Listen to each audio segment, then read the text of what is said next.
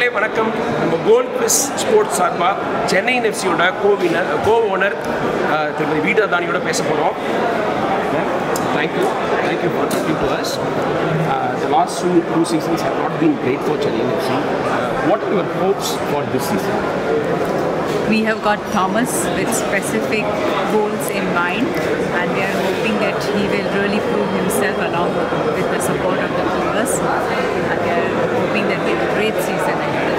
Much did you miss fans at the Nehru Stadium? You know, as I keep saying, that we are a family people.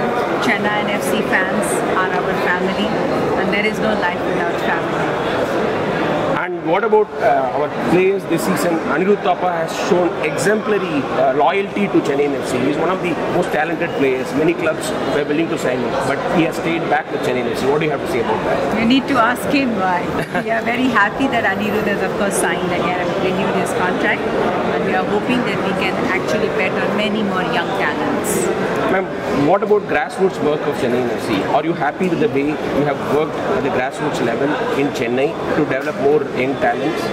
Yes, we do have many more players who are homegrown, and we are hoping that we'll get many more talents in the coming years. I feel no amount of work done at the grassroots level is enough. Unfortunately, the last two years have been dampening our spirits, and we have not been able to do as much as we would have liked to do.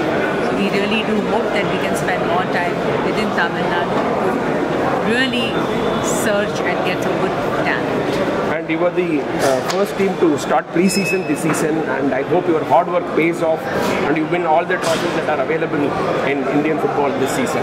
With your good wishes, I hope for the same too. Thank you, thank you, thanks a lot. Nandri. Nandri. Nandri.